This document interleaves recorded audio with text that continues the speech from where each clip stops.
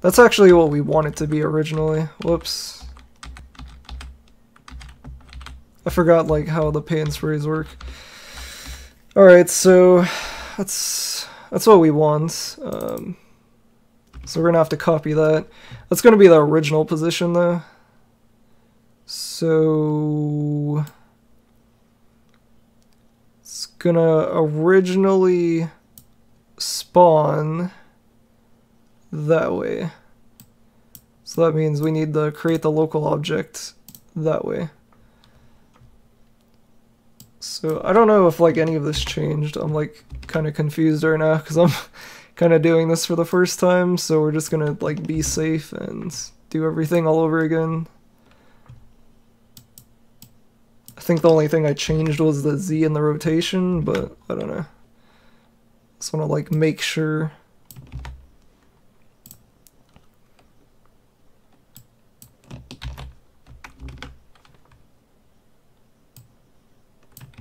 Alright, so now we're at rotation. Wait, what? What just happened? XYZ 16.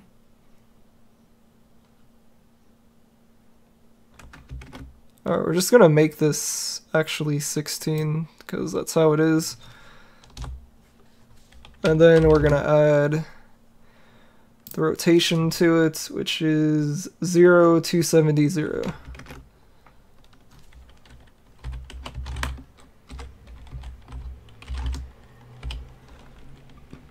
So the original position that it was already at should uh should already be right here. But I don't think I added a rotation. So move object, door, move time, all of that.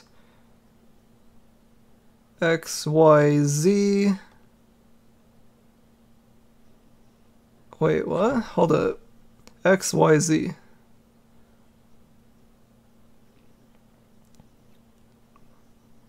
Was there four things here? What's that about? This would be X, Y, Z, one, two, three. Something's not right. X, Y, Z.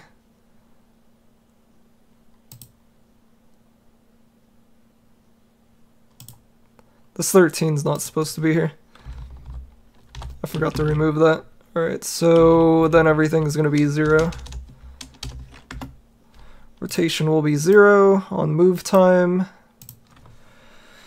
All right, set timer, move, move, hold up. All oh, right, the, yeah, so this would be move door now. So I changed it. So this is the function. So the timer, we're setting the timer of 400.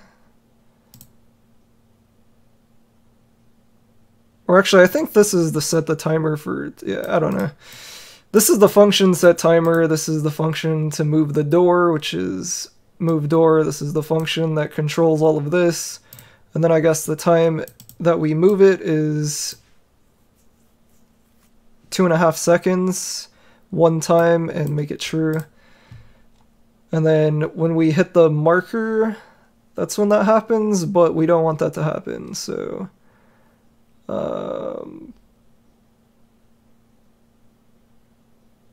actually, no, we do want that to happen because it's going to control this function and it's going to move the door back into its original position that we first had it in, which is closed, so once you hit the marker, then it'll close the it'll close the door, which is how it actually works in Grand Theft Auto.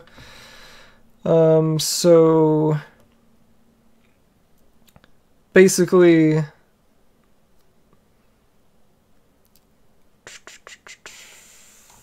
all right so gate 2 we're just gonna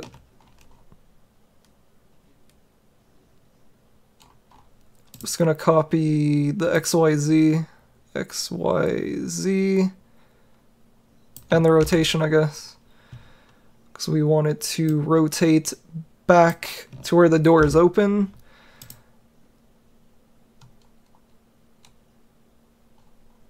So gate 2 is its own function. So we're moving gate 1, which would be closed, back to open. That's what uh, this is for. Actually, no, we we would be... Actually, I don't even think we need a gate 2. Because no, we'd be moving it back to closed again. Um, this might actually not be useful. Hold on a second. Alright, let's go back through this. So we create the object, the door is open. Then when it moves, it's closed. So this should open it again. Yeah, Except that when we want the door to open isn't when we leave the marker. We want it to open once the repair has finished. So now we need to go back to fix vehicle and I'm pretty sure I can just like copy this. Feels bad, man. I'm lazy in copying tutorials on the internet. Um, but we'll just see how it works. It might not even work. I might have to figure this out on my own, but uh, so gate to move objects. Alright, so how are we going to do this? Because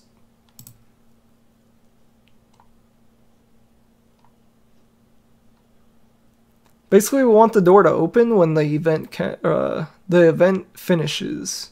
So we got to figure out how to like make the event make the door open. So this is to have to change. But on top of that, I'm gonna have to like...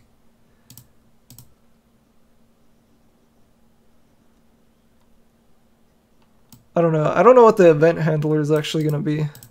Or if we even need one. I'm like I'm not really sure. Um let's see. So move object, move time, which is like two seconds, I guess. Or wait, move time is four seconds. Yeah. So move time and then is moving false.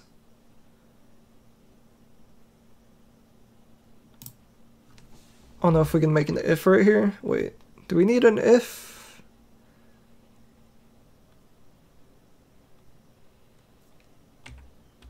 Well, regardless, we need to create the, like... Hold up.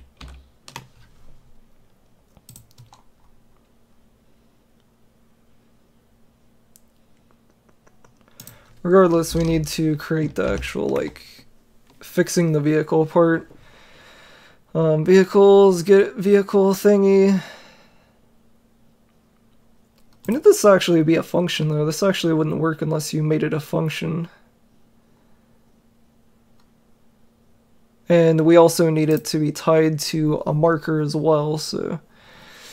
That's another thing that we're gonna have to, like, figure out is how to tie this fixed vehicle to a marker. So the marker is in this location, so I guess we'd add the command or the event handler to go on marker hit. So pretty sure this isn't gonna work, but we'll try it anyway. I'm just gonna leave it alone. Whoops, even though usually you have to create a function in order for things to work. But we're gonna make this uh, literally this. Actually, no, we are gonna need a function, so whatever. Alright, let's see. Alright, so function...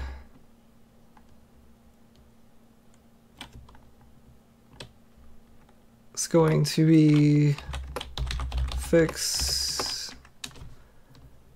Oops, fix vehicle is the actual like thing. We'll just call it fix.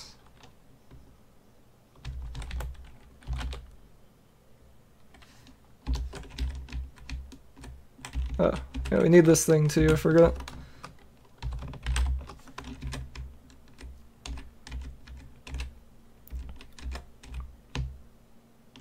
And then try to do that, I guess. Um, so fix, and then the function will be fix. So on marker hit, it's gonna fix, but we also don't want it to fix instantaneously. Because that's pretty unrealistic that the vehicle would actually be fixed as soon as you hit the marker, so... Uh, we're gonna have to set a timer for when it gets fixed as well. So let's just say...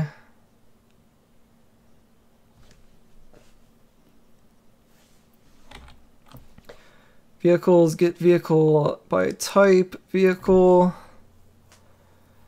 Basically the script right here should just like, you should be able to go into the marker and fix any vehicle, I'm pretty sure, so that's how that's gonna work. Um,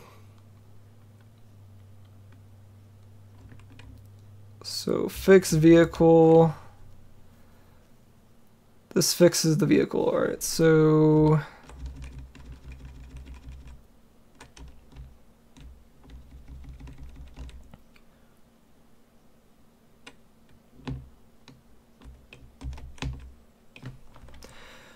we're gonna have to like set a timer though.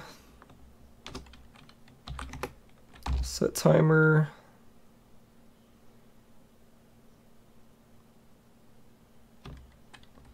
Yeah, I'm not really sure how this is to work, to be honest. Um...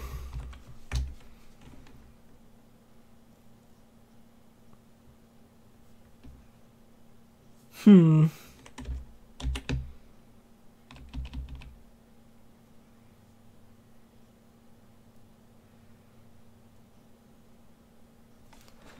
Is moving source marker one. Basically, we need to do something like this, but it needs to activate on the set timer. So I don't know. Um, the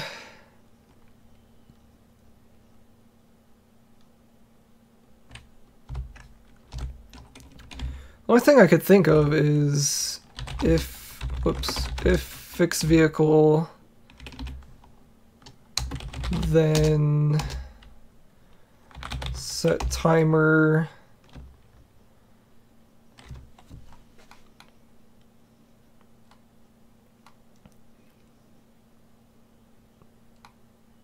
Set timer, fix.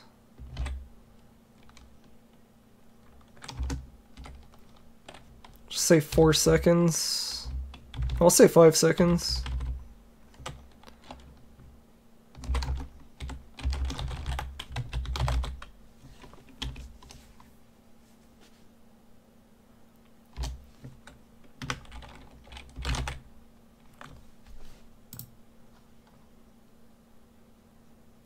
Not sure if that's gonna work, but we'll see. We'll see what happens.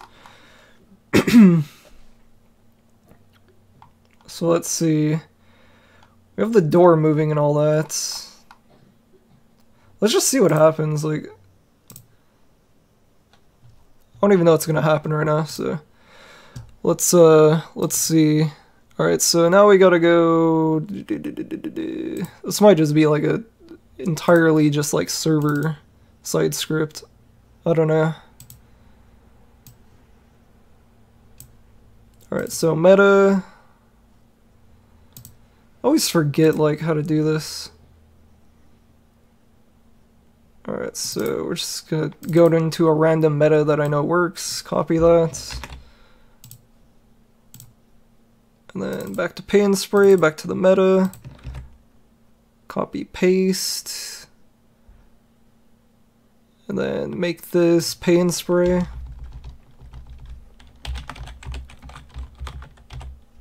Which is the name of our folder.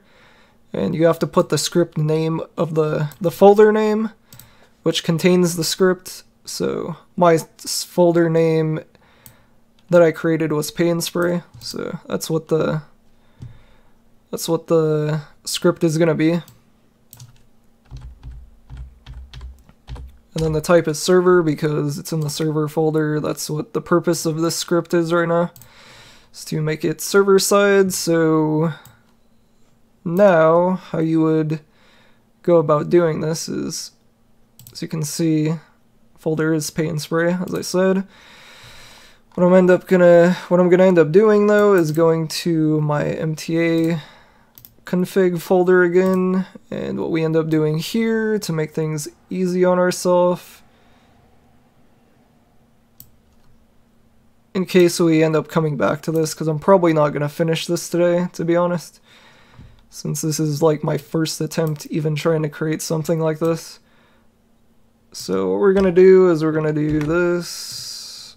Put this at the top, I guess. Why not? And just call this Pay 'n Spray.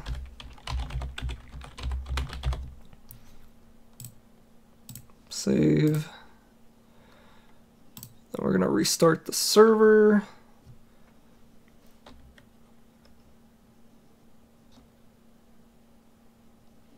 Um, F5. Wait. I think I have to get out of this real quick. Alright. We're gonna stop the editor.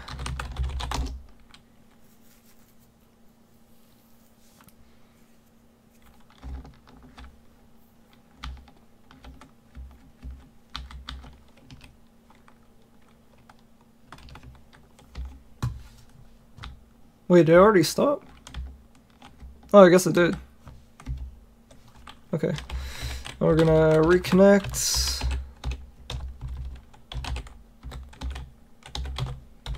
How do you spell it? What the hell? Reconnect. There we go. Forgot how to spell that for a second.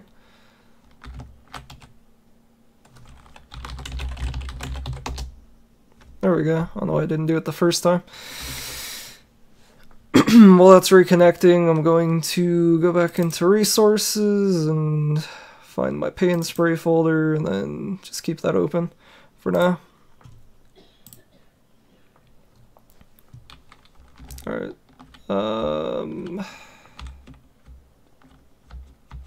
let's go into our panel.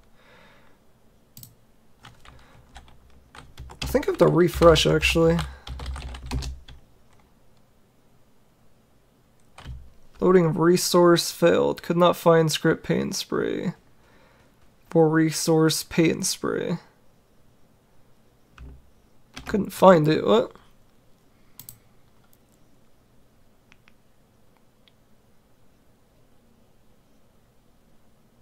Paint spray.lua. Oh, I did mess up. Whoops.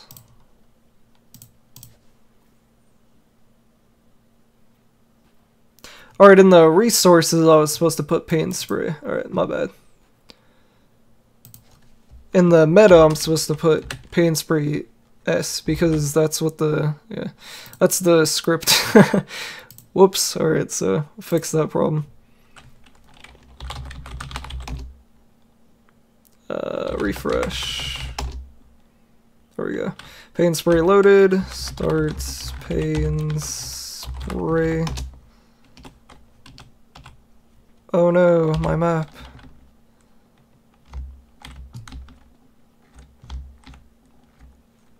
Hmm. It's actually not in the right position. It needs to be a little bit higher. But whatever, we'll fix that later. Editor. Not to start it. Start editor.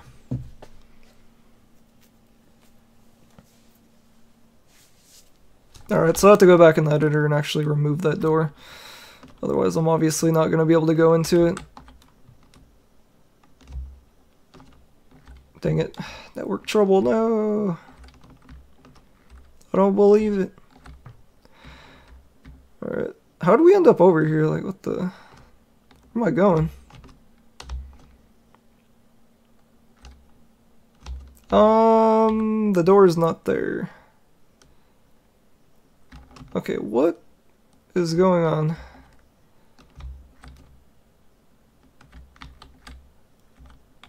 It's a jellyfish. Jellyfish. Jellyfish. Jellyfish. where are we going? Alright, so I need to load a different map. This is like my first map, which wasn't working before, I guess? I don't know. I'm kind of confused. Either way, I need to find the map that I'm on and then remove the door. Otherwise, I'm not going to be able to go on the Pay 'n Spray. So I'm pretty sure I'm using this one. Yeah, there we go. Alright, I just need to remove this door. Uh, object world remover. Delete. Then save the map. Whoops. Save. Then back into this. Stop editor. And for some reason my map is still having that in there. Start CTK. Okay, I forgot what the map was called. oh my god. Oh, there it is. Alright, so start CTK test map. Alright, there. Alright. Start pay and spray. It's already running. Okay. There we go. I don't believe it. It's finally there. I mean, we don't have a car though, so that's a thing.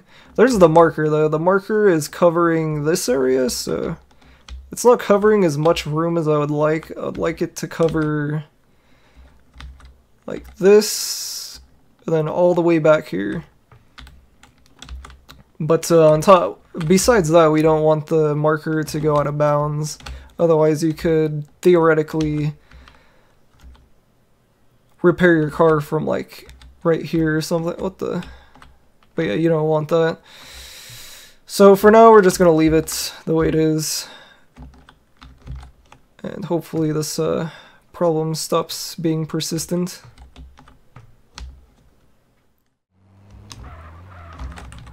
Alright, so let's see if it gets repaired and the door moves or anything like that. Huh. Yeah, it did get repaired. It did not take five seconds though.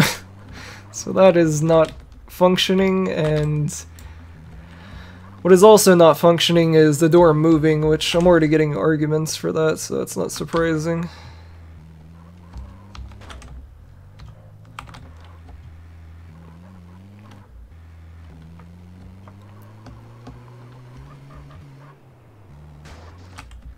Alright, that's also a problem. If we go in... Oh my god. If we go into the marker, it repairs the vehicle, so every time it gets damaged, it gets repaired, so that's another issue that we're having.